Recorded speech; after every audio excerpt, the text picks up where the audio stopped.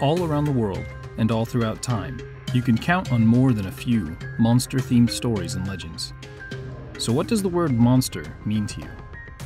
It's a very broad term, I think, and in my view, there's a few ways you can go with that, and I'll talk a little about each one in no particular order. One path I take is cryptozoology. Crypto meaning hidden or secret, and zoology is the study of structure, habitat, or evolution in the animal kingdom. The Bigfoot, Yeti, or the Yowie is probably the most widely known cryptid today, and perhaps some form of long lost great ape. In the past few episodes of Lore and Legends, Thunderbirds, and even hunting mammoths come to mind, there's an argument that some of the creatures from older mythology or stories might actually be real animals on some level, albeit ones who lived a lot longer than science says that they were supposed to. It might also interest you to learn that the mountain gorilla was once a cryptid to the Western world, and they only existed in stories from remote areas of Africa. Now, I'd wager that most zoos in most moderately sized cities have a gorilla or two. Another example of a cryptid is the coelacanth, an armored fish that was found off the coast of Africa that was believed to have went extinct some 66 million years ago. And you know what? In the spirit of mysterious biology, I'm going to say that aliens are in this category too. After all, is hunting the cosmos for virtual tracks with giant sound recorders and telescopes much different than scouting the woods with a tape recorder and some binoculars? Another form of monster, though you may not think so at first when you hear the word monster, is of the more spiritual variety. This category is really broad and spills out into a lot of things we might just roughly call paranormal.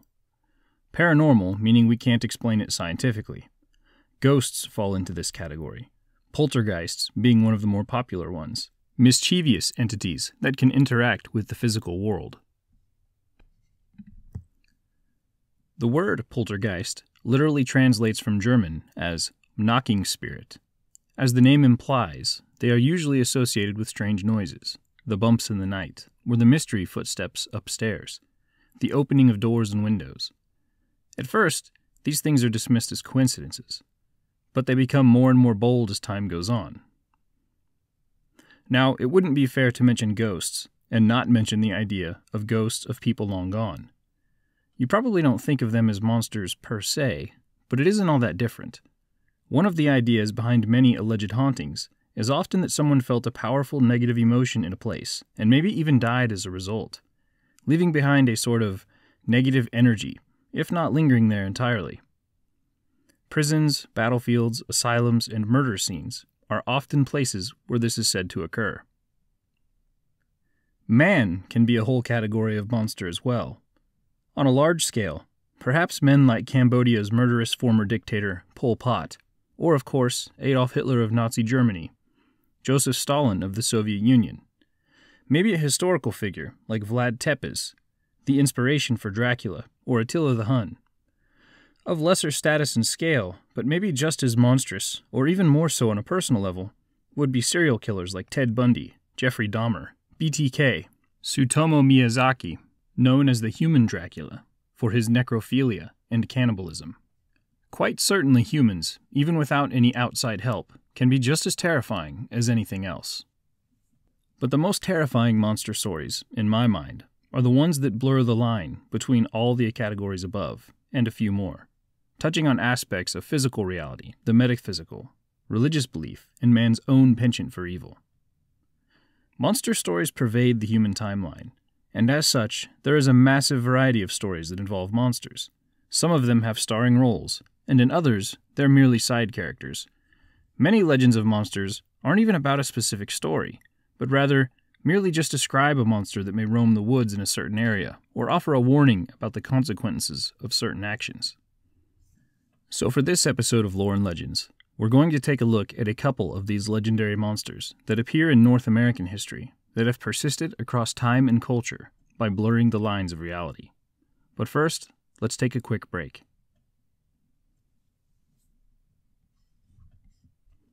One of my favorite broad categories of lore if you haven't been able to tell so far, belongs to the Native Americans, whose raw connection to the world around us is perhaps even more legendary than the legends themselves.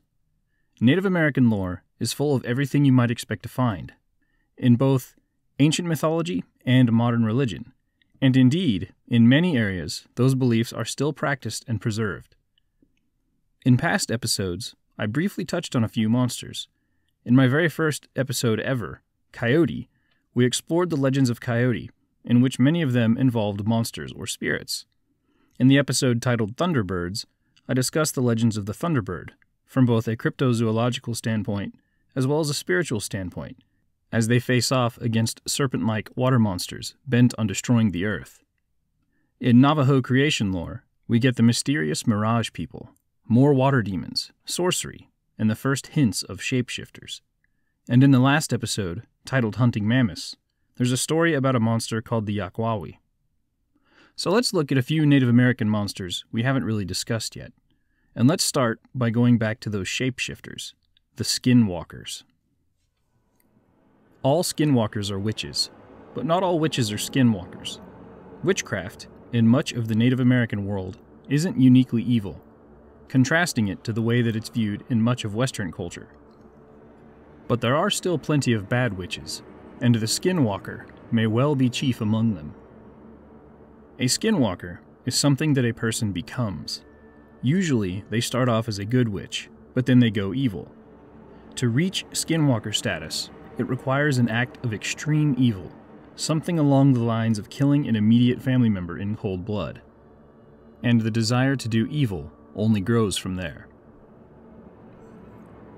Skinwalkers gain the ability to transform into animals, and they're believed to wear the skins of those animals when they do it. The word for skinwalker in Navajo, yee naaldlooshii, translates roughly to, with it, he goes on all fours. This shape-shifting ability allows the skinwalker to move about unseen as virtually anything they desire. The Navajo believe skinwalkers can and do walk around in human form by day, blending into society and always looking for the next victim. As such, speaking about skinwalkers and possible encounters or circumstances involving them is taboo. Because if a skinwalker catches you unawares, you're likely to make the target list from anything from the mysterious bumps in the night all the way to murder. There are a few books on the subject that I'll list over at loreandlegends.net that contain some very recent stories of skinwalker encounters, which involve anything from the feeling of being watched when you're alone to superhuman witches attempting to push cards off the road as they're moving. The only way to kill a skinwalker is to know who they are and say their identity to their face, which goes hand in hand, perhaps, with the reasoning behind why skinwalkers don't like you talking about skinwalkers. In Utah, the infamous Skinwalker Ranch gets its name from the terrifying monsters who have been blamed for some of the strange occurrences there. I contribute to another podcast called Skinwalker Radio that is centered around the phenomena on the ranch. Check it out if that interests you. I also plan to do a very witchcraft centric episode in the near future, so be sure to hit the subscribe button so you don't miss that. The other monster that I want to talk about in this episode, that checks all of the boxes that the Skinwalker does, and maybe even more, is thought to wander the forests of the Great Lakes regions. It's called the Wendigo. The Wendigo is generally described as very tall, at around 10 to 15 feet, with a pale complexion and extraordinarily emaciated form, to the point to being living, but still a rotted corpse. You'll frequently see them depicted with an antlered and bloody skull as a face, though that isn't always the case. Either way, the Wendigo is truly monstrous. But what are they exactly? A paranormal cryptid, a spirit, or a person? The answer, it seems, is all of those things. One possible origin story of the Wendigo is centered around a once great warrior who was desperate to win a conflict for his people, so he made a deal with a proverbial devil. The man is granted extraordinary abilities, bridging the gap between supernatural and physical, and these abilities allow him to swiftly defeat and devour his enemies. It's hard to imagine a more complete weapon. The Wendigo's presence, or mere perceived presence, inspiring an overwhelming sense of fear and dread in its victims. The smells of death and decay fill the air as the sky gets dark, and you can literally feel the energy drop around you. the death rattle that is its breath, getting closer and closer, only appearing before you at the last minute, leaving no time to react as it kills and then devours. But at the end of this war, this Faustian pact was realized. In exchange for these abilities, the warrior can't return to his tribe and is banished to the cold and remote wilderness, where his power leaves him with an insatiable appetite for flesh and really becomes an unbearable curse. In another story, the Wendigo is just a side character in a story about how man came to be with the first dog. It goes like this A couple of Indian men arrived on the shore of a strange land after a storm blew them in the wrong direction. Soon after, they encountered a giant who was the ruler of this new place. The men hid in fear as the giant approached. But the giant took pity on them when he saw them two lost creatures without food or weapons. So he brought them to his camp. And soon after that, the Wendigo spotted them. The Wendigo tried to lure the men away from the safety of the giant by telling them the giant was actually evil and often captured men to eat. But the giant heard this and was having none of it. This angered the Wendigo, but before he could pounce, the giant flipped up a large bowl, and from under it sprang a strange wolf like creature that chased and ultimately killed the Wendigo. The humans were enamored by this new creature, the giant called a dog. Seeing their bemusement, the giant said they could take the dog with them, and that he would help them get home, which baffled the humans. They couldn't believe that a creature could obey human commands like that. The giant then sent them off home with the dog, and the dog did indeed guide them to the right shore, and the dog remained with them afterwards. This sort of attempted deception by the Wendigo is something that comes up in the late 1800s in the story of a Cree man named Swift Runner. Swift Runner was a respected hunter and trapper in his local community, and for the winter months, he took his family into a cabin they had in the woods. Except when winter was over and they tried to return, his family wasn't with him. Swift Runner's in laws weren't buying his excuses, and so they contacted the police. The police took him back into the woods and back to his old camp, where they quickly found the scattered bones of his family, including the skull of his wife and a shallow grave for one of his sons. Swift Runner told them that one of his sons did actually die, but he started having dreams of a Wendigo telling him what he needed to do, that ultimately made him kill his wife, and then have one of his sons kill another one of his other sons, and then he hung a newborn baby and ate all of them. Swift Runner had been possessed by the Wendigo. He was arrested and hanged in May of 1879. Wendigos are broadly associated with people who resort to cannibalism, starving and emaciated, but never satisfied, no matter how much they consume, and they have to live with the knowledge of their taboo. They're also associated with just about every negative emotion or feeling you could possibly have, whether it's fear, cold, pain, isolation, death, loneliness. Once a person becomes a Wendigo, there is usually no escape but death. It is also possible to become a Wendigo by possession, and in fact, this may be one of the more common ways it happens. But there may also be a fine line between possession in a literal demonic type sense and possession as a descriptor of the mental state of people who have embraced the idea of cannibalism, crossing a line they can never uncross. The last part there is really interesting to me, as it represents and acknowledges a descent into madness. And if you think about the idea of the human, or perhaps humanity, being hidden in the heart of the Wendigo, it's a great metaphor for a person who has succumbed to their worst tendencies. And oftentimes, people who go that far no longer even have the ability to realize that they're wrong. There are stories of whole groups of people becoming Wendigos or becoming possessed by the spirit of the Wendigo, who continue living together as cannibals, and the remaining people plot how to eradicate them from the land by using a magic or hiring hitmen. In some stories, this seems to be viewed as an almost normal thing that came up once a century or so. Check out loreandlegends.net for more on that story. We should also consider the Wendigo's origin in the north and its general association with extreme cold. The Wendigo spirit was the most powerful in times of famine or drought, which tend to come in winter. There are a handful of modern stories about people being stranded or isolated in the cold, resorting to cannibalism in order to survive. If you do a quick Google search, you'd actually be surprised how frequently cannibalism pops up when people get in desperate situations. I'll link to some of those on loreandlegends.net as well.